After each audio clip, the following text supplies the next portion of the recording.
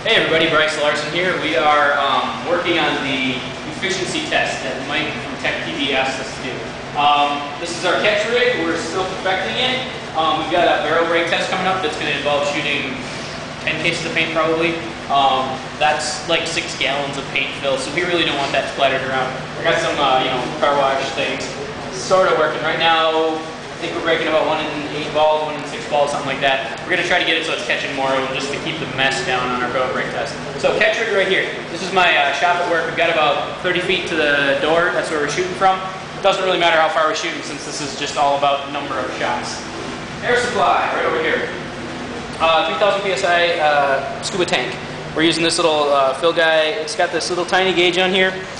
Probably precise enough, but hard to read. And so what we're doing is we're filling my 13 cubic inch tank.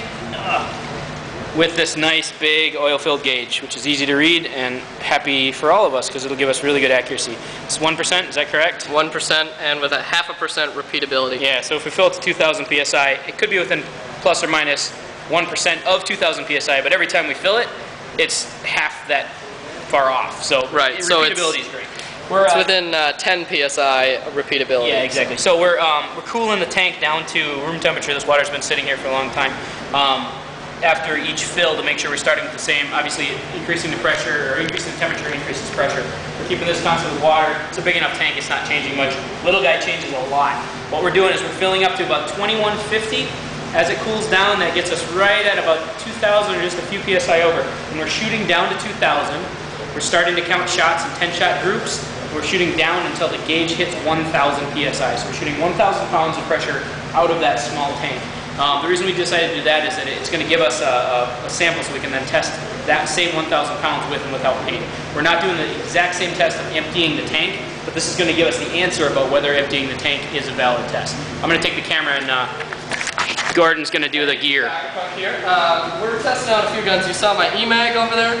We're going to test that out. This is a fixed, uh, it's a level 10 first off. It's a fixed uh, volume um, spool valve gun. So when you fire the gun, part of the process of the gun seals off the dump chamber from the rest of the gun. So um, that operates differently than, say, uh, the Ion, which isn't a true sealed off dump chamber gun. We're also going to test this.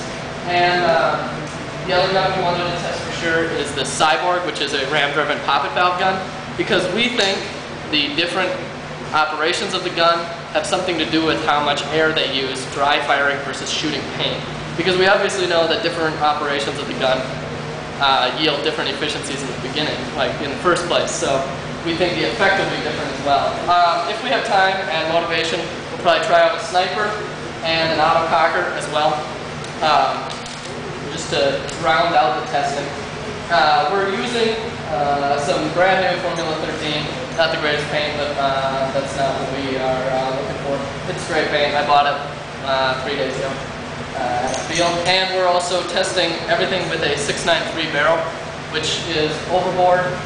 Um, and it's the barrels that Mike recommends, which we're trying to stick with that to keep continuity with the whole thing uh, with Mike's testing versus our testing. So uh, I think that just about covers it here. So uh, next up should be either mine or Bryce's comments and the data sheets. So you guys have a good one.